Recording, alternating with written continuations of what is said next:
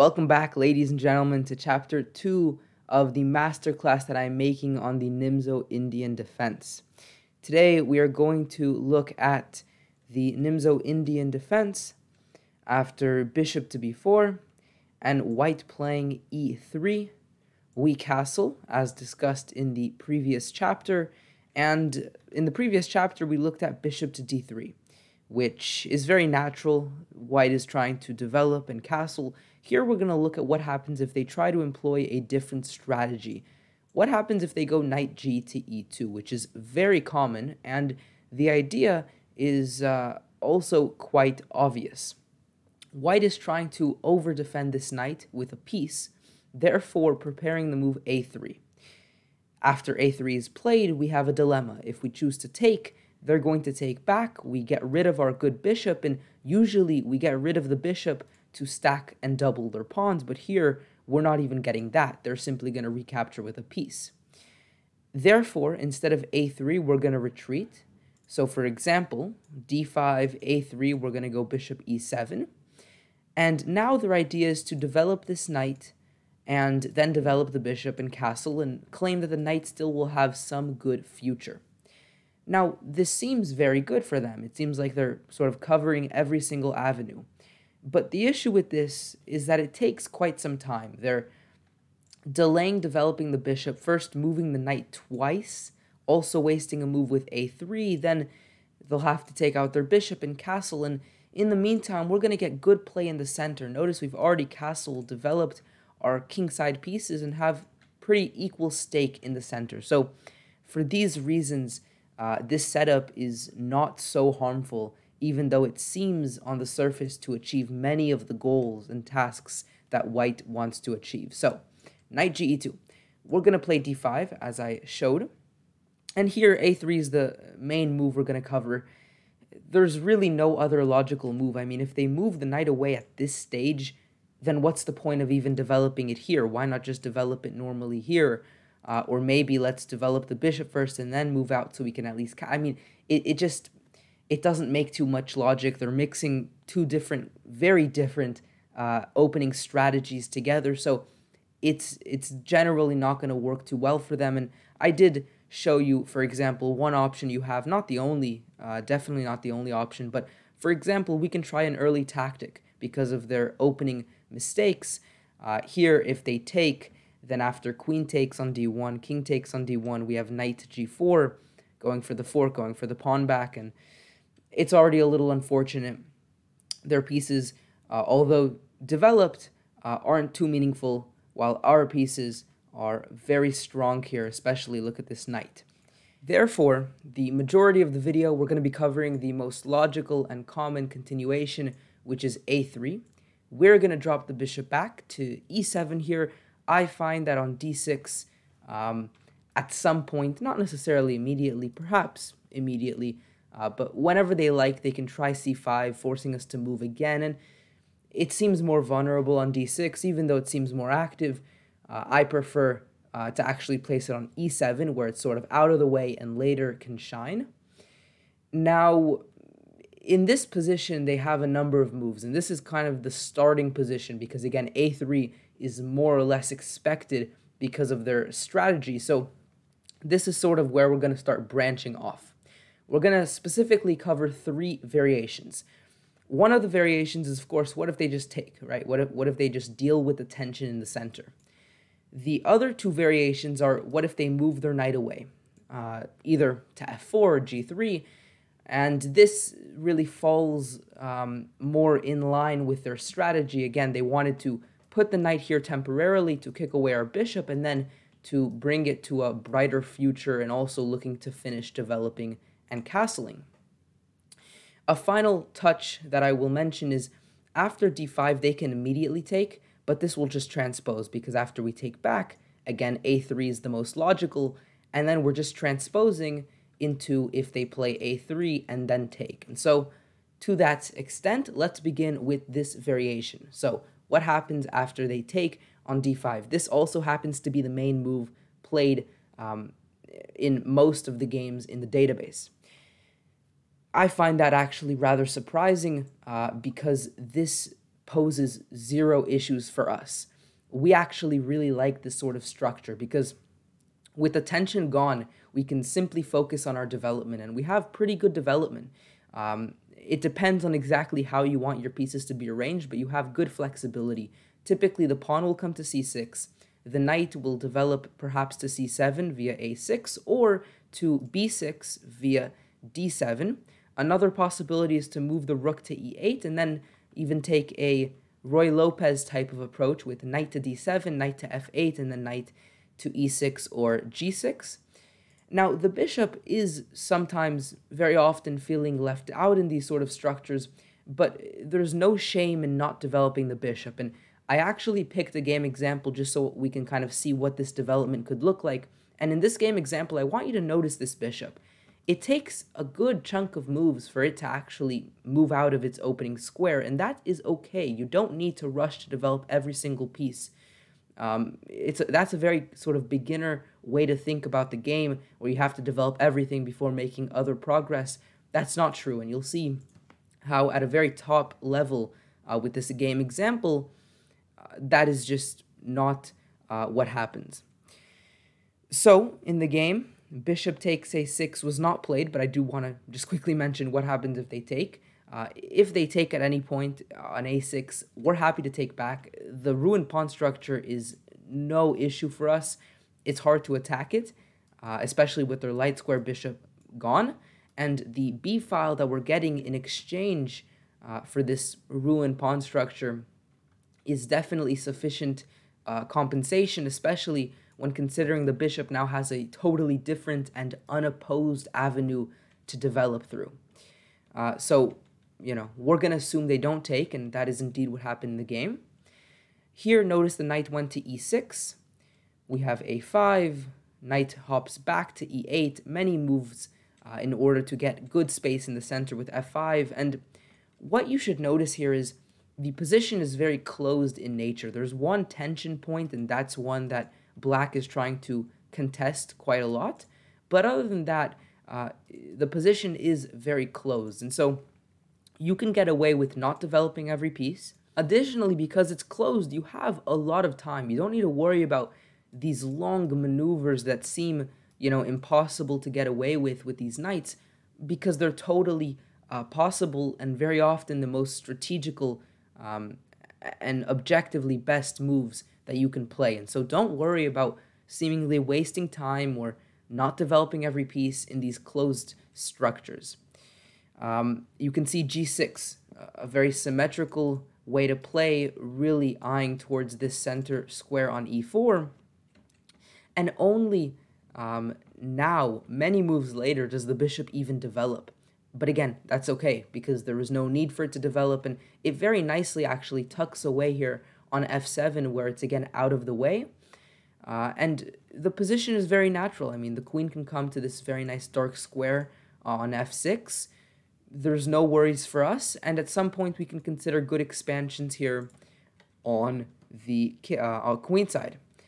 You can also play on the king side. There's many ways to go about playing this sort of position. And here you indeed see black playing on the king side instead, winning some material, and uh, very nice tactic to fully open up white's position. Again, the focus with these game examples is not necessarily the middle game or end game, uh, but more so the development and the developing schemes that you can employ. Here, of course, White resigned in view of the checkmate that is inevitable on g1. Okay, going all the way back, that was the main move, um, but in my opinion, not the most critical move, and certainly not the one that is um, worth investigating the most amount of energy on because it's uh, just a, very plain position that we get to with very calm developments for both players. Let's focus on a more energetic approach, knight g3. Here we strike with c5. We want to equalize the position on the center control, um, and they're posed with two options. Uh, to take here or to take here. Otherwise, we're happy, for example, if they just develop we're happy in many cases to take, put the queen here, do some of the natural stuff that you've seen so far and you will see in the continuation of this masterclass. So let's begin with what happens if they take on d5. We take, they take back, we take back. And here, if they continue taking, our queen gets out to a very uh, fine position. Here, after bishop e2, we can, of course, take their rook, so they have to start with f3, but now that gives us good time to develop. It also weakens their king, you can see with these checks. Um, and, I mean, total domination on the board. Their king is left wide in the open. Again, this is just from natural development, right? We're, we're simply seizing space with c5 and then capturing in the center. Um, so that's c takes. They can also, of course, not take back. They can just play bishop d3, in which case they do manage to castle and get out of the opening okay, but even here it's not so strong for them. We can take, for example, and go g6, and our structure is very solid in these sort of positions. Notice the idea with g6 is to uh, get rid and oppose this light square bishop, but at the same time keep our king very safe with the um, future of putting the bishop on g7 where it will be an absolute monster to play against for white. So that is what happens after c takes on d5. If d takes on c5 instead, we have even a objectively simpler uh, way to play. We simply take back again. As a reminder, they take here, we take here. They take here, we take here. Very simple to uh, remember. So takes, takes. And now uh, if they take, then we're very happy in this sort of symmetrical position because notice the difference in the symmetry is their knight, which is by no means better on this square. In fact, our knight is closer to the center, and because they've wasted time getting the knight to this square that is, again, by no means better, we've managed to castle and get a good rook in the center. So we can continue something like knight to c6. The bishop can go back, and we seize a lot of space in the center both of our bishops get very active, um, and you know at some point the king can the king can start retreating back uh, into the center. We're very happy in this position. We have good center control, and all of our pieces are in meaningful squares. So after d takes on c5 and we take back on c4, they can instead of trading go queen c2. But this takes some time, and here we have a very nice approach that is actually fairly thematic to this sort of position. When we get a pawn, and very often we do manage to get a pawn on c4, you always want to consider what if we can defend this pawn with b5? Now, of course, if they were to simply let us have the pawn here, then we're very happy. But of course, the critical move is what if they take? Now, taking uh, very often will not work well for them because we don't even need to recapture. We go bishop b7. We've essentially um, exploded our development by playing this move, sacrificing the pawn, where they've wasted time taking. In the meantime, we've used very valuably our time to develop the bishop in a strong position, where now this bishop is also feeling a bit uh, left out. And after takes, knight to d7, we're fairly happy here. The pawn on a7 looks uh, pretty dangerous, but in reality, it's nothing to be worried about. We can take at any moment. Notice if bishop takes, of course, they leave this pawn hanging. So again, they have to resort to this very sad f3 move, after which we can seize the uh, tempo they wasted by defending the pawn and also looking to maybe utilize this nice square on d3. So e4, now queen to b6. At some point, we will, of course, recapture uh, the pawn, but first we have to move the knight. Now, you can go knight g6. That's definitely one fair approach where we want to take back uh, probably, preferably with the rook to get the quick ability to stack. We want to use these light square outposts that we still have.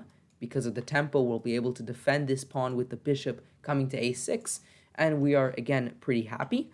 Another approach is to use the light squares immediately. Knight d3 check, and after takes, the pawn looks very weak, but uh, again, we can defend it um, some, at some point with the bishop coming to a6, or maybe even in some cases even managing to come to c2. But even if we lose it, notice we'll be able to get enough compensation for it in terms of our pieces. So even if they manage to put their pieces on, a, on squares that attack this pawn and eventually take it, our pieces are so active that it's going to be very difficult to do this. If they ever move this knight, we can try to infiltrate. You know, if they ever move this knight, our bishop can also uh, spread some fire on this diagonal. So it is very hard for them to find ways to make progress. Meanwhile, we have extra space, very good development and a very comfortable total position. Now, the final uh, variation that we are going to look at is instead of going knight g3, what if they come and play knight to f4?